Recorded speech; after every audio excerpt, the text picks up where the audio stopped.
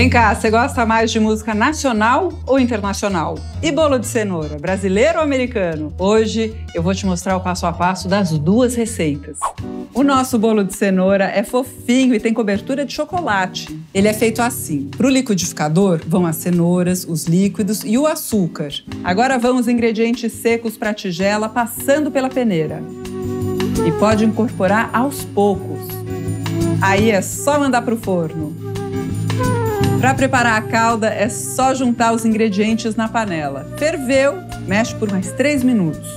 E pode regar a calda ainda quente no bolo frio.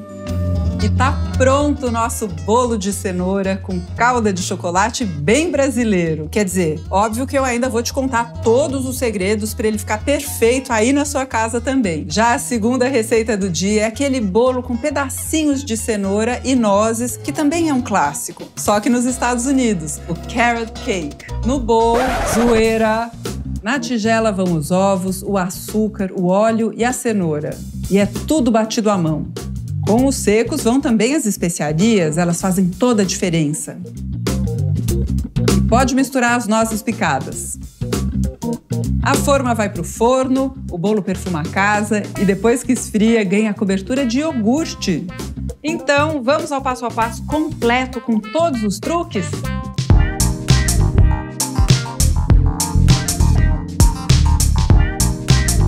Cenoura dando sopa aí na sua geladeira? Então só falta decidir qual das duas receitas de hoje você vai preparar primeiro. O bolo de cenoura com calda de chocolate é feito no liquidificador e lembra a nossa infância.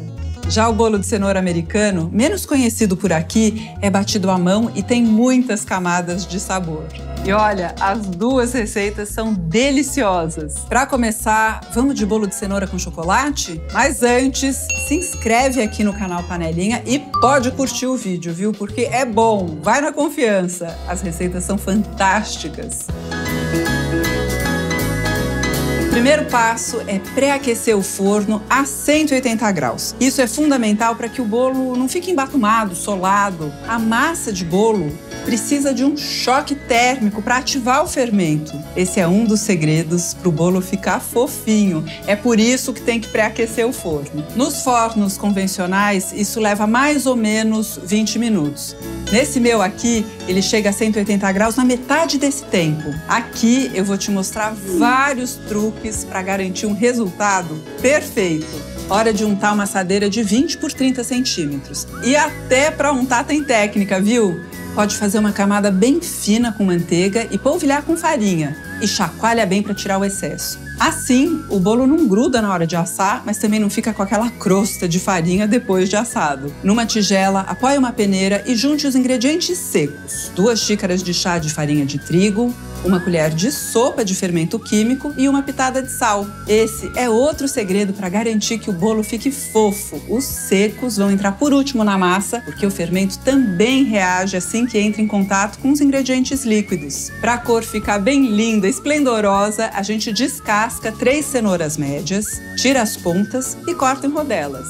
Ai, Rita, o que são cenouras médias? Eu não sei. Bom, se você quiser pesar, cada uma tem que ter cerca de 120 gramas. Elas vão para o liquidificador junto com uma xícara de óleo de milho.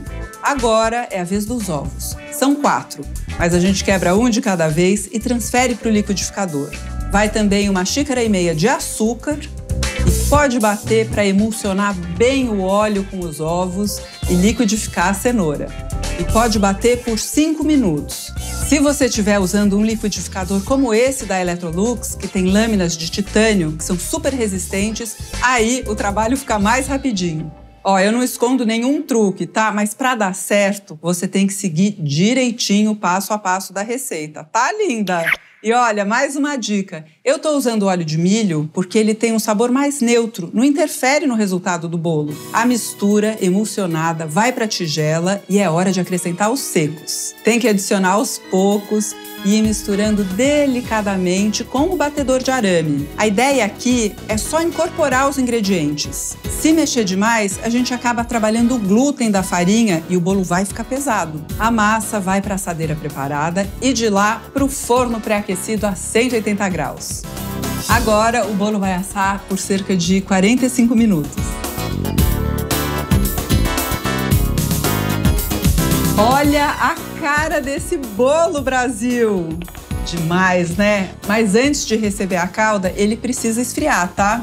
Então vamos para ela? Na panela, coloque meia xícara de chocolate em pó, um terço de xícara de açúcar, uma colher de sopa de manteiga e um terço de xícara de água. Leve ao fogo alto e a partir desse momento não pare mais de mexer. A gente mexe até ferver e continua mexendo mesmo depois que começou a borbulhar. Mais ou menos 3 minutos depois que começar a ferver, a calda vai estar tá assim, grossa e desgrudando do fundo da panela. Esse é o ponto para ela cristalizar e ficar com aquele aspecto craquelado.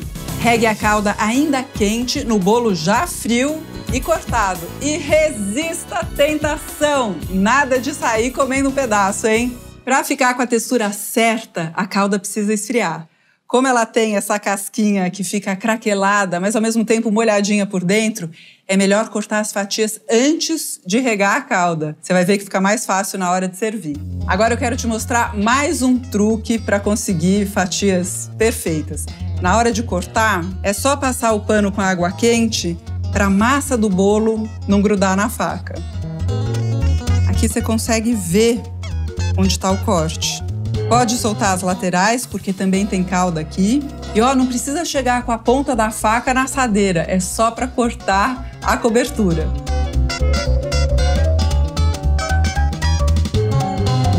Essa receita é ideal para quando você quer um bolo com poucos ingredientes, poucas etapas, mas que agrada um montão de gente.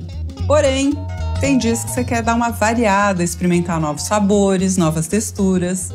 O carrot cake é perfeito para esses momentos. E a gente começa logo pela cobertura. O iogurte precisa ficar drenando de um dia para o outro, mas é só deixar na geladeira na noite anterior, tá? Super simples. Aqui tem três potinhos de iogurte natural, integral e sem açúcar. Cada potinho tem 170 gramas. Aí misture meia colher de chá de sal. Forre uma peneira com um pano de algodão fino e limpo, ou, se preferir, com dois filtros de café cortados ao meio. Transfira para a peneira e leve para a geladeira para drenar até o dia seguinte. E é isso, zero trabalho para você.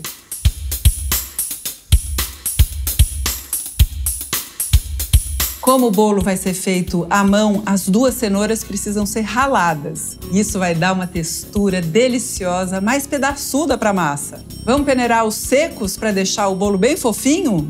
Uma xícara de farinha de trigo e uma colher e meia de chá de fermento em pó. Aí vão as especiarias: meia colher de chá de canela, meia colher de chá de gengibre em pó, uma pitada de cravo em pó e outra de noz moscada ralada.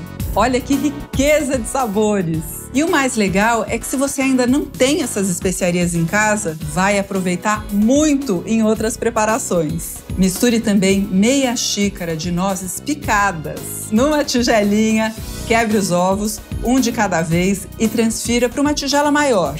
São três ovos. Vai uma xícara de chá de açúcar mascavo e pode misturar bem com um batedor de arame até formar bolhas.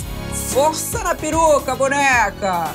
Essas bolhas são sinal de que está no ponto de juntar o óleo. Pode regar com um terço de xícara e mexer bem. E vai a cenoura! Pode acrescentar e misturar com uma espátula. E você já sabe que os secos são os últimos a entrar, né? Junte aos poucos e misture com a espátula só até incorporar. Lembra que nesse ponto não pode ficar batendo a massa loucamente ou você vai trabalhar o glúten e o bolo vai ficar pesadão. A massa vai para essa forma de bolo inglês de 22 por 10 centímetros que já está untada e polvilhada com farinha. Agora a massa precisa assar por cerca de 50 minutos em forno pré-aquecido a 180 graus.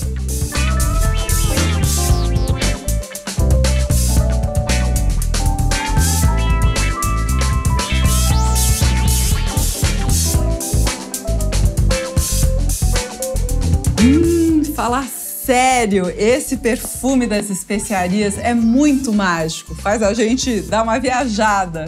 Mas não pira não e sai desinformando o bolo, porque ele precisa esperar 15 minutos ou tem grandes chances de rachar. Não vai dizer que eu não avisei, hein? Outra coisa, a cobertura só vai pro bolo quando ele estiver totalmente frio. E falando nela, vamos terminar o preparo?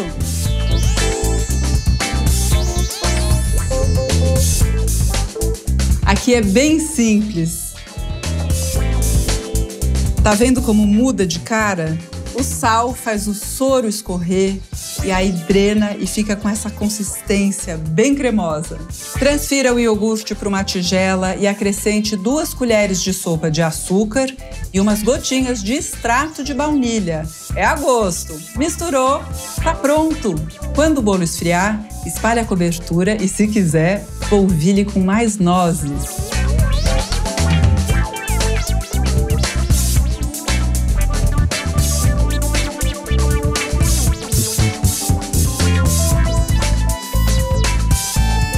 E aí, deu para ver como os dois bolos de cenoura podem ser bem diferentes? Não tem melhor ou pior, depende do que você tá com vontade, né? Para mim, o bolo de cenoura com cobertura de chocolate é um mergulho na infância. Já o bolo de cenoura com cobertura de iogurte ou carrot cake é um passeio em Nova York, meu amor! Olha só, além de muito conteúdo para você, essa minha parceria com a Electrolux quer incentivar você a entrar na cozinha. É para aproveitar bem tudo que os alimentos têm de bom. Prepare uma das receitas de hoje ou as duas e poste uma foto em um perfil aberto no Instagram usando as hashtags Receita que aproveita e assim ou assado. E olha, pode marcar o perfil ElectroluxPR. As melhores fotos vão ganhar repost. E olha, se você quiser me ajudar a botar todo mundo na cozinha, compartilhe esse vídeo com seus amigos e parentes. Quem sabe eles não se empolgam e testam as receitas também. Antes de me despedir, já quero aproveitar para te convidar para se inscrever aqui no canal e ativar as notificações. Assim você fica sabendo quando o próximo vídeo estiver no ar e vai ter acesso a novas receitas e técnicas. Até lá!